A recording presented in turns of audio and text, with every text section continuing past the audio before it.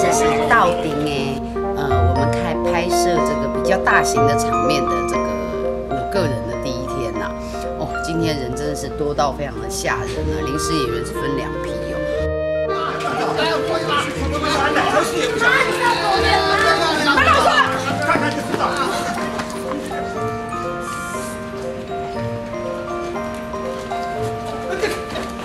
老弟，老弟啊，练练走啊！去你娘！到底怎么看？哪里看好？老弟。是的，我知道了，因为这我也没见过，也是刺激一些自己某一些身体上的部位的那种技能。哎，我老婆刺是不是激什？么？我老婆是刺激那个。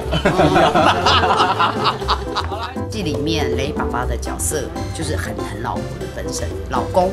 其实这个比较有反差，相对于这种一般人的印象，我在家里就是每天这样整碎碎卖卖杂货店的东西，然后骂骂老公这样子。你有没有想过，老刘一开始就是信任你，才会拿这个叠退去请客，现在客人吃坏肚子，你觉得老刘心里很好过吗？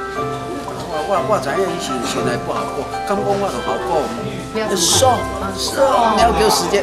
嗯，这样送五十就送啦送啦，哎，唔通安尼出力啦，会变蛋花汤啦吼。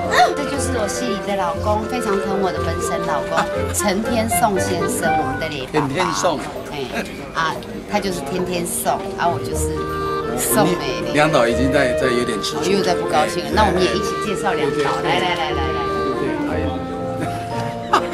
好，这个哦，这个梁导因为跟这个雷宝哦两个人是好朋友，所以呢，他们两个人那个心结很深，哦，心结不姓李，啊，他们两个每次就是都喜欢故意这样斗来斗去。以上刚刚那个女子所讲的话纯属虚构，虚构对大家都知道，唯女子与小人很难养，所以她讲的话都不可以听。杨导说我抢他的，看到没有？你看到没有？这写的写的什么？面子真的很重要。老刘，我出去啊！你看又一个特写，你看你看，老刘又一个，太棒了！太厉害了，太厉害了！我我不拍了，我不拍了。这个杨导讲一句最良心的话，就是我在演艺圈里面认识一个，一个是梁导梁先生先生，一个是李岳峰李导演，是我最要好最要好的搭档。我自我介绍的话，刚刚雷洪兄都已经说完了。我是他值得尊敬的朋友，他是我最最最更值得尊敬的朋友。小老弟，好，可以了，可以了可以了，可以了，去找那个话多的人讲。